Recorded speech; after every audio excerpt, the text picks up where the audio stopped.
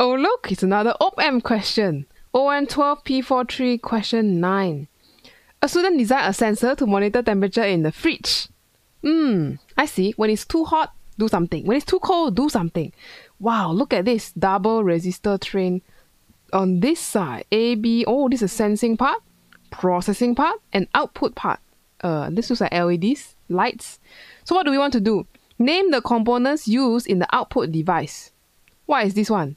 Ah, this one is LED diode, but with arrow come out. So we're gonna write here light emitting diodes. Um, the mark scheme sometimes accept if you write the short form, but why not? It's just just one mark. Just write the whole thing out. Bracket LED to be safe, to be sure.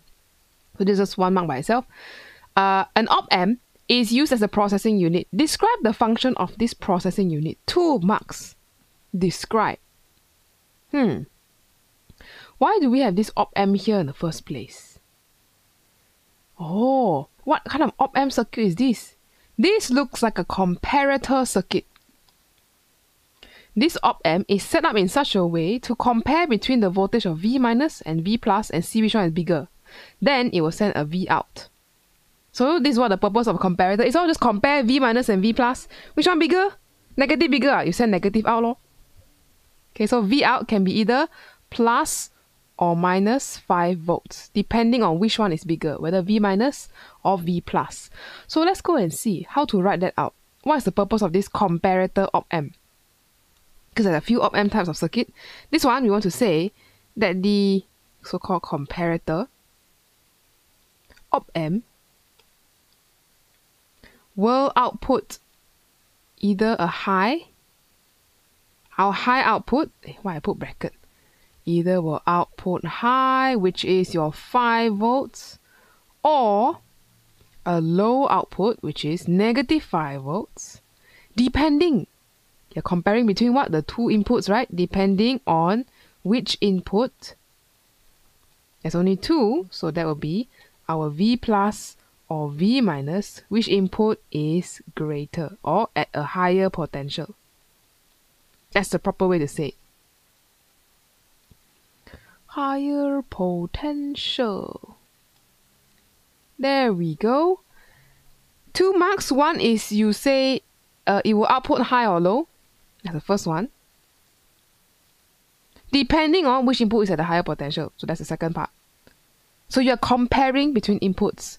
One example is I can say, well, let's say the potential here is 18 volts. Down here is 16 volt. Which one is bigger? V minus. So your output will be negative 5 volts. Negative wins, so negative 5 out. That's just what it means. So you compare between both. Okay, now what are we supposed to do next? Let's see. Say the function of resistor C and D. C and D is right here. Why do we have two resistors here and a potential divider? One question for you is, will the potential of V plus be changing? Will it be changing? Will the potential at this point be changing? Actually, no, because these resistors are constant. Their R values are fixed. RD is fixed. RC fixed, not going to change. So this one is going to be a steady, constant potential. V plus is just going to be fixed. It's like your reference point. Okay, so the potential divider CD is just to fix V plus. That's all. That's all the purpose is. So how are we going to say that? Uh, we can say that the purpose of that is to set a constant potential. Constant or reference potential. Lah. If it's 4.5 volt, it's just always 4.5 volts. So reference potential for who? For the non-inverting input, also known as the V plus input. This is a name for it. Okay, one mark. Ding. What about resistor B? What is the function of resistor B? Hmm, let's go up and see. So resistor B is down on this side connected to the thermistor. Ah, the purpose of this thermistor is to change the resistance depending on the temperature. Ah, that's the one they're going to measure the temperature of the fridge. But what about this variable resistor down here? Uh, the purpose of that resistor is to adjust the switchover temperature or the limit where your potential will reach V plus or V minus, whatever that is. Uh. So this is what we call to set the switchover temperature. Because don't forget, this is potential divider, so B will take a potential, A will also take a potential. And by adjusting that, you can set this point so that the switchover temperature is different. So we're going to write that down over here. So we can say this is the purpose of resistor B is to determine the switchover temperature right here. So-called switchover temperature lah. When will the output suddenly change? Ah, switchover temperature can be determined by V minus. Okay, otherwise ah, your thermistor just change temperature, change temperature, change, change, change, but it never, it might never even reach V plus or go near or cross over V plus. Okay lah, maybe we say V plus is fixed, 4.5 volt. Maybe uh, your temperature change, change, change, but your range is only for the top part 5 to 8 volts. Huh? Then useless leh. You won't be able to switch the output because 4.5 is always smaller than 5 to 8 volts. So that's not good. You need to be able to adjust the range of what could be the potential at this point. So that's why we have this switch over temperature to adjust what's the limit. So maybe you adjust, adjust, adjust just nice so that V minus could have a value of maybe 3 to, to 6 volts. Now that's a good range because depending on the temperature change, temperature high, temperature low, it could be 3 or 6. Ah, at some point it will be more than 4.5. At some point it will be less than 4.5. Then only your output can switch either plus or minus, plus or minus. Now that's what we call a switch over. This one is to adjust it. There, you know the knob, you open the fridge, there's a knob you can turn the temperature at. That's your knob right there to set how cold you want your uh, fridge to be. Okay, so that is this thing here. lah. I'm just to put a, this one is an independent mark, so B1. Moving on to the next part of D. Oh, this one you haven't tried yet. You should try drawing. Okay, the output device is changed so that now you may use to switch on a high voltage circuit. State the component that is used in the new output device. Hmm. So down here, they remove all the LED take away already. Something need to connect to high voltage. Oh, when you see high voltage, you should know, oh, dangerous. High voltage cannot connect to op-amp like that directly. Leh. You're going to burn. Cannot, cannot, cannot. So the thing that will protect the high vo- uh, the op-amp from high voltage is the relay switch. Special kind of switch. If you haven't checked out the video for relay, go check out that one on output devices. So we just write here relay, lor, one mark. Okay. And how do we draw this? Uh?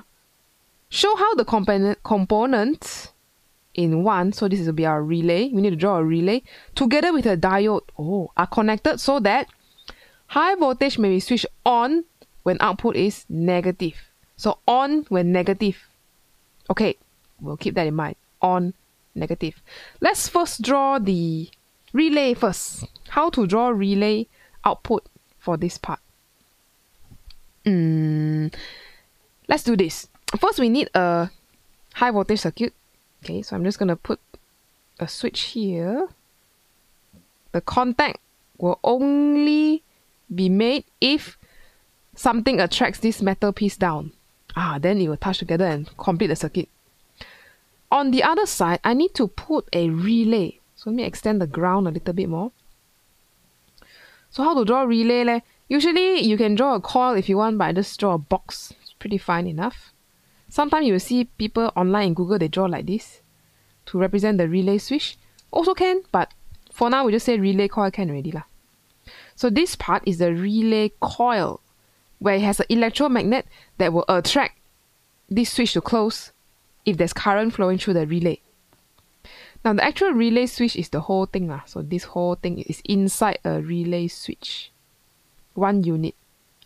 But now you have linked together both parts of the circuit, the left side circuit, the right side circuit. Oh, forgot to connect to ground. Okay. So now, if we leave it like this, just as it is, we have one problem. You see, if the output is plus 5, positive, uh, ground is bottom level, right? 0. So means down here is 0 volts. where will current flow? Will current flow? Yes, from high potential all the way down to low potential. Then the relay will activate. Eh, but we only want it to activate when it's negative. Uh, so something is wrong here. Hmm. Let's double check the other way. What if the output is negative 5? Will there be a current flow? Yes, from high to low. So high is ground, flow down to negative. Also activate wall. Oh, oh. So we want to prevent the the, the, the, the other one for activating. So we put a diode right here. Okay, we put a diode right here, this way. That way, when your output is negative, ah, correct, then current will flow through there. No problem. But when your output is positive 5, then no current will flow because the diode will not let current flow that way. Diode will not conduct. It's like, nope. Ah, so this one only switch on uh, when the output is negative. So when it's negative plus 5, no output. Okay, so this will only work when it's negative 5. Yay! High to low, current flowing. Now this is a 2 mark relay question, so you don't have to draw the protection circuit. Uh, but if you really wanted to, you could draw the protection circuit just in case. So know that relay coil actually uh, is a is an inductor inside there. If you, inside the box uh, I draw a box only right. Inside there is actually a iron core with a a, a, a inductor coil like this. So this one become magnetized north and south or whatever that is, and then attract the metal switch on the right side. So the moment you deactivate or oh, no current, the coil will not like that change. Eh, where's the current? I, I thought we had current just now flowing through us. Where where did it go? So it's going to try to oppose that change and create an induced current like that. Now that's not good because your op amp is off. You don't want that to spoil your op amp. So we need to create an alternative part to divert this current, induced current, to go to ground. So that's why sometimes you can draw a protection diode right here to protect the op amp from induced current when you turn off the, the, the, the, the relay. Okay, um, usually if they have three marks only, you need to draw lah. If two marks, no need also can. Okay, where do the marks come from? Let's take a look at the mark scheme. So first mark comes if your relay connected correctly for op-amp output and high voltage circuit. Not very helpful, right? Connected correctly. What does it mean correctly? It means this part here lah, relay on this side to the op-amp. And the high voltage side got a switch. So this one is B1. The second mark usually comes from your diode. Diode in the correct polarity, so pointing to the left side. Then that will be correct to control only, enable only one output of the op amp to activate the relay. And that is when it is negative 5. Ah, then only got current flow. Okay, so that is the relay question. I think that's it. Wow, pretty fast. Okay, so make sure you know how to explain what is happening in this comparator op-amp circuit, how to think about all this potential changing, and also how to draw relay outputs for all these kind of comparator circuits. Okay, so that's all for this question. I will see you in the next example or theory video. Bye bye.